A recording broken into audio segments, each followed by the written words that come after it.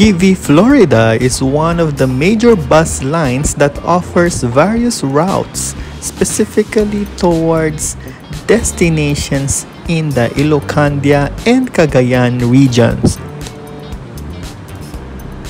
In this episode, pumunta kami ng Lawag, Ilocos Norte sakay ng kanilang OG sleeper bus at pabalik ng Manila galing ng Pagudpud using their deluxe class.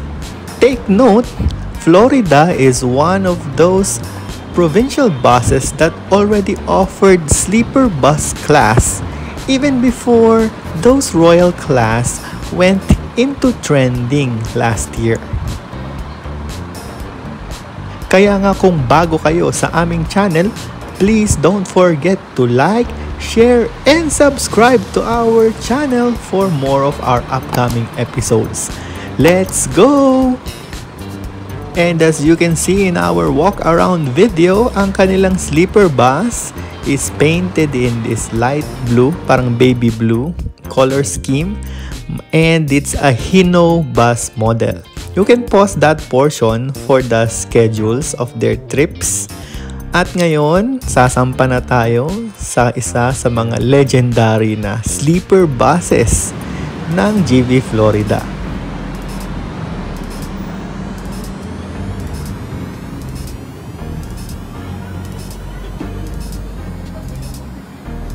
Ngayon pa lang, no, sasabihin ko na sa inyo na this is expectations versus reality, honest review.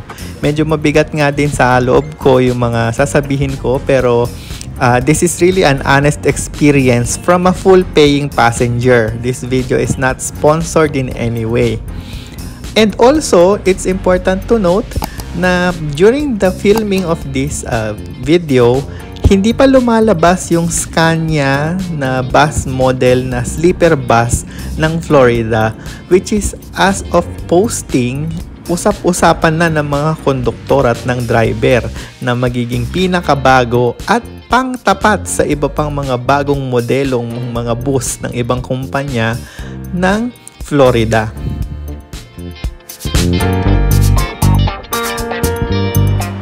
Brief history, medyo matagal na tong uh, sleeper buses na bumabiyahe sa Cagayan at sa Ilocos region. Mga more than 10 years na actually. Medyo napasikat lang siya uli no nagkaroon ng uh, bago yung isa pang kumpanya na papunta ng Baguio at ng Kalinga. Pero itong modelo na ito, nakikita nyo naman, may kasikipan yung mga pasilyo niya.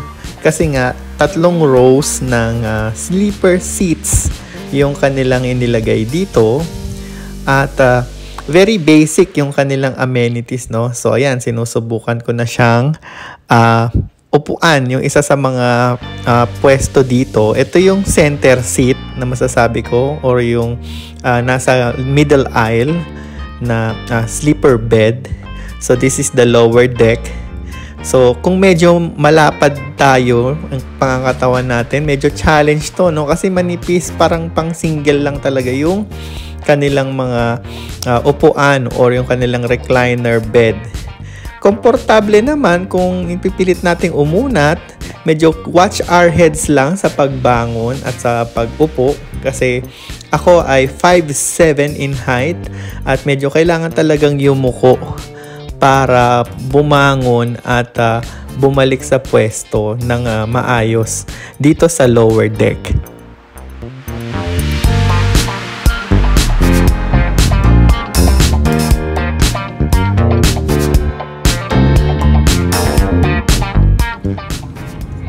In fairness naman, oh, may blue lights sa ilalim ng uh, ah, mga lower uh, sleeper beds. And uh, both levels, merong mga sariling mga aircon blowers na meron ding pailaw although hindi siya uh, individually switched. So, pag pinatayan ng driver sa gitna or sa harapan, patayan lahat sabay-sabay. Uh, sleeping time na ibig sabihin. Meron siyang cortina dun sa window sides. Uh, dun lang yun sa may left and right uh, windows ng mga bus. Yung uh, center aisle na mga sleeper beds, wala siyang cortina.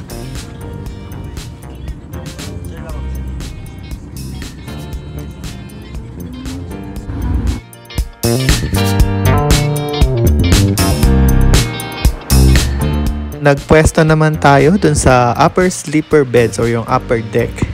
And as you can see, kailangan medyo maingat ang ating uh, paghakbang lalo na pag may pasahero na sa ilalim dahil yung kanilang hagdana or yung ating hagdanan pababa is uh, uh, also just next to their uh, feet, no? Yung feet portion nila. At wala nga silang kurtina sa aisle. So makikita natin yung mga paanong mga nasa taas na pasahero pag lumalaylay at bababa sila. so medyo uh, ma, ma, uh, galaw din ng bus habang umaandar. So kailangan mahigpit ang kapit natin dyan sa mga safety handlebars na nandyan sa mga sides. And uh, meron silang seat belt, uh, yung mga uh, sleeper beds. So isa siyang uh, uh, single uh, seat belt.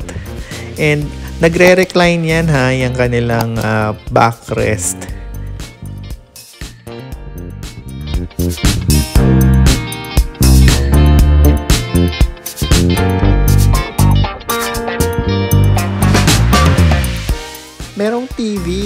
Doon sa bandang gitna at sa unahan pero walang pelikula ngayon. Pero may pa-music si uh, Manong Driver.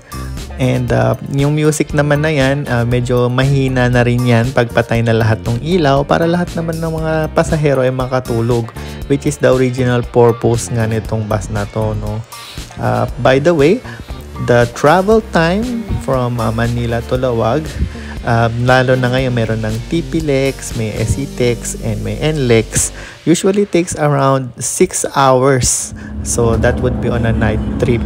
Mas mabilis na siya compared sa dati na nasa almost 9 hours or 8 hours uh, average nung uh, wala pang masyadong mga expressways dito sa north. Okay, so pinapakita ko naman sa inyo nasan yung switch nung uh, pag-recline nung uh, mga uh, backrest hindi naman siya yung fully reclinable to 180 degrees. Siguro uh, medyo may pagka-recovery position yung pag-unat natin dito pag sinagad natin yung backrest. At uh, yun namang pasahero sa unahan natin, makikita naman natin yung kanilang uh, likuran na unting-unting bumababa sa ating mga binti. Kaya ingat-ingat lang kapag iaangat natin yung ating mga paanan at baka matuhod nga natin yung likod nila or yung likod ng kanilang backrest. And napansin nyo no, yung uh, aking paa merong sugat. Kaya nga actually ito yung kinonsider namin sakyan ngayon kasi nga baka matapak-tapakan at masagi siya pag regular bus yung sinakyan namin. And uh, happy naman ako so far kasi naiunat ko nga yung paa ko, hindi na siya masyadong masakit dahil uh, medyo masakit yung sugat na yan actually, eh, medyo hirap ako maglakad during that time. Meron din lalagyan ng chinelas or ng uh, sapatos doon sa dulo ng kanilang uh, mga uh, sleeper beds. So, uh, wala nga lang siyang uh, luggage compartment sa taas kasi nga na-maximize na yun nung second deck na mga sleeper bed.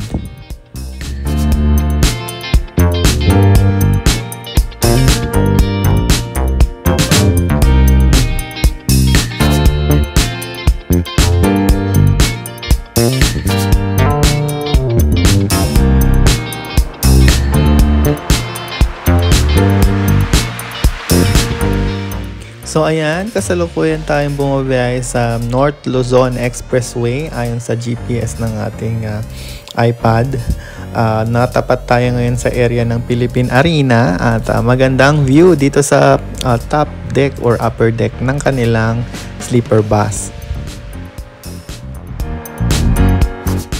Isa sa mga nakakaaliw dito sa sleeper bus is yung uh, napakalaking bintana nila kasi halos buong katawan natin may bintana yan sa upper deck at sa lower deck. So kung panoramic view ang uh, paglalabanan, panalong panalo sa view ng kalsada at ng uh, surroundings itong uh, mga window side na sleeper bus uh, beds. So, medyo mas mataas din siya ng kaunti yung mga nasa upper decks sa mga normal na mga uh, windows ng mga regular passenger bus. So, hindi masyadong naharangan ng ibang mga kahilera or nakakatapat na mga sasakyan yung view ng pasahero. So kung medyo nalulula ka sa ganong view and you preserve your privacy, of course pwede mo naman takpan ng buong kurtina yung bintana or pwede ka rin kumuha ng pwesto dun sa center aisle.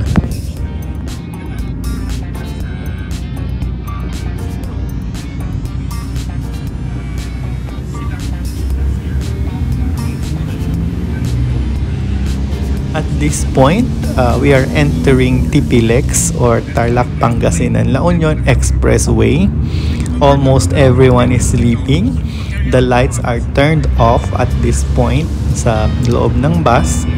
Pag uh, gusto naman sindihan ng uh, conductor yung dim lights if they want to make a head count or some passenger check, binubuksan nila yung blue ambient light sa loob ng bus.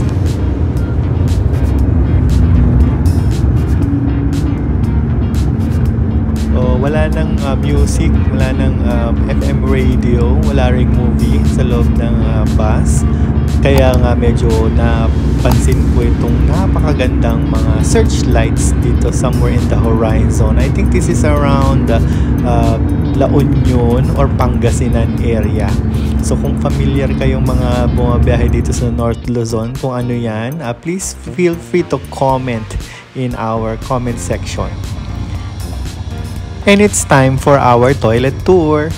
So, kapareho naman siya nung mga toilets ng ibang mga uh, regular bus like yung mga aircon na deluxe or super deluxe. Wala nga lang tubig, pero may tissue paper. Ayun. And uh, alam nyo naman na hindi to pwedeng pang number 2, pang number 1 lang siya. So, technically, para lang siyang urinal. At uh, dry flush din siya. And uh, maliwanag, malinis, walang amoy okay naman ng headroom. And uh, meron din siyang mga ilaw, pati yung pinto. So kahit madilim dun sa pasilyo ng bus, makikita at makikita mo yung handlebar para mabuksan itong toilet.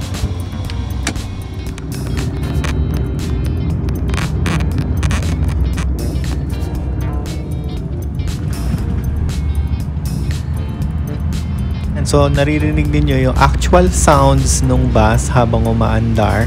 Honestly, uh, medyo may mga langit-ngit na siya. Medyo loose na rin yata yung mga yung, uh, installation ng kanilang mga uh, beds. Pero safe yan. No? Wala naman ako nakitang gumagalaw ng mga parts nila. And uh, honestly talaga medyo matagtag yung biyahe compare sa ibang mga bus. And nagtataka nga ako no, so ganun ba talaga yung experience kapag nakahiga sa isang malaking sasakyan? But I think ang sagot is simply because maluwag, no? Halos walang laman yung bus nung umalis kami. And take note, yun naman ang kagandahan, umaalis on time ang mga Florida buses kahit na hindi puno.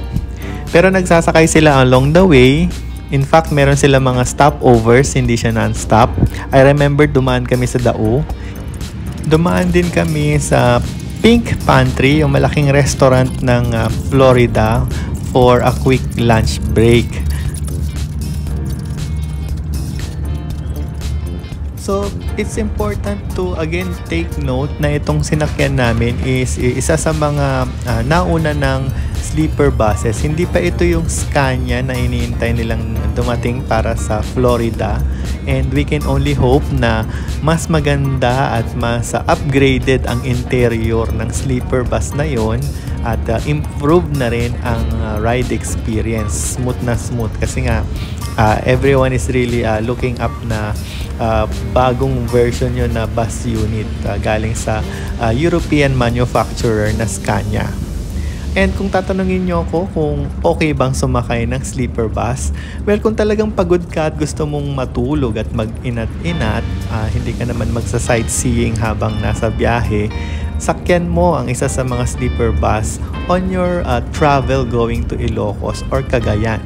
Pero kung gusto mo mag-enjoy na uh, mag-recline-recline at uh, ma- maluwag ang legroom, magandang uh, view sa kalsada, well, itry ninyo ang isa sa mga super deluxe or deluxe class bus ng Florida. And yan yung ititry natin ngayon. So, nandito tayo sa kanilang Pagudpud Terminal. And ito ang kanilang fleet ng mga deluxe buses papuntang Manila.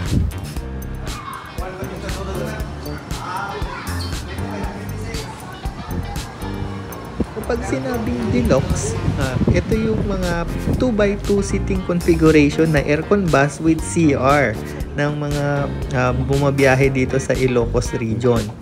So, nakita nyo naman, talaga may accent ng pink ang kanilang cortina at yung kanilang mga seats. And uh, maluwag naman siya. Standard naman yung size ng kanilang mga upuan. Hino bus model again ang kanilang gamit.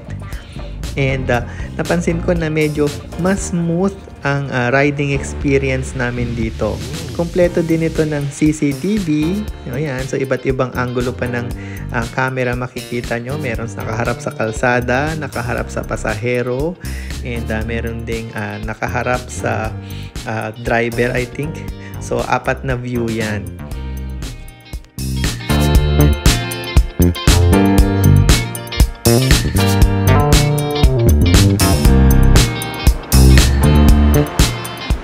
Alis kami ng Pagudpod around 7pm and uh, right now nandito na kami sa Lawag Terminal ng uh, Florida Bus Lines. At uh, nakikita nyo naman, uh, kulay pink ang majority ng kanilang mga buses. No? So meron pa silang ibang mga labels dyan like yung Transport Pro, meron ding GMB, yun yung mga uh, regional nilang mga biyahe. So you can pause this uh, portion para sa mga schedule at uh, mga destinations na nakuhanan namin sa kanilang Lawag City Terminal.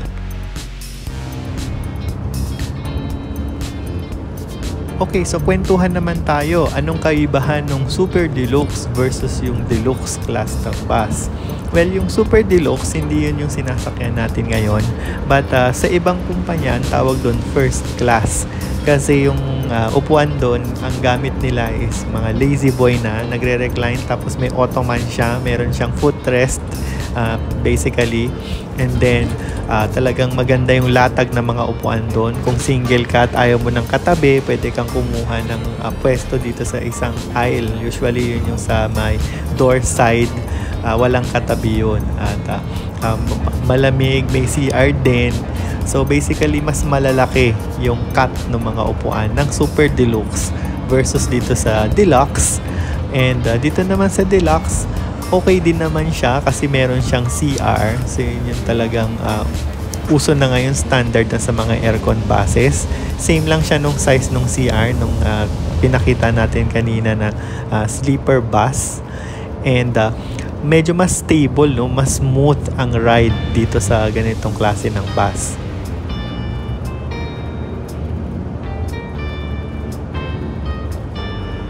Pinalad din kaming makaupo dito sa pinaka front seat which is usually reserved para sa mga PWD at uh, mga seniors. So kung may seniors, please lang bigay nyo na yung upuan sa kanila. Uh, medyo uh, masakit pa rin kasi talaga yung uh, paa ko na may sugat kaya uh, naisipan natin pumwesto dito. Well, ang downside naman kasi pag front seat is kitang-kita mo yung sinag ng liwanag ng mga kasalubong na sasakyan kung panggabi yung biyahe mo. Although kung gusto mong mag-sightseeing at uh, i-familiarize yung sarili mo sa kalsada, especially pag day trip, yan. So, uh, pakiusapan mo na lang na makaupo ka sa harapan kung wala namang seniors or PWD currently sa biyahe nyo.